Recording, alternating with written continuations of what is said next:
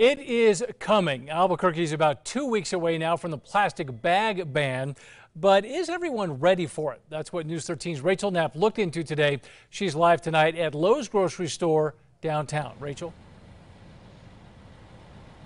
Dean, come January 1st, you won't be finding plastic bags like these in the stores. So now stores and shoppers are preparing for that change.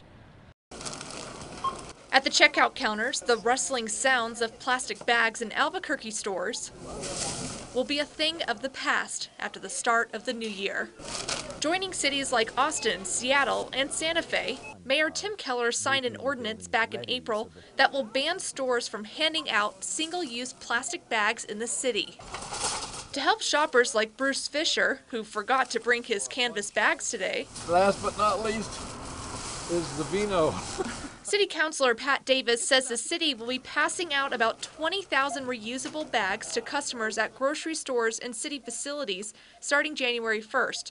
Shoppers we spoke with welcome the change. I think it's great. I think we need to do it. We need we need to get rid of our plastic bags, plastic straws, everything that contributes to uh, landfill that cannot be uh, eventually absorbed into the earth should be banned.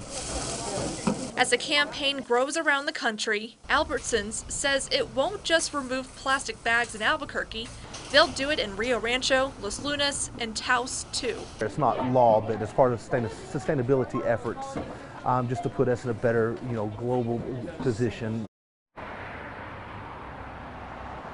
So if a store slips up, they'll be given a warning on their first violation. But if they're caught again giving out these plastic bags the second time, they're looking at a $250 fine. Back to you. All right, Rachel, thank you. Now, convenience and retail stores are also banned from giving out thin plastic bags like you get at the supermarket. Restaurants and dry cleaners, though, are exempt.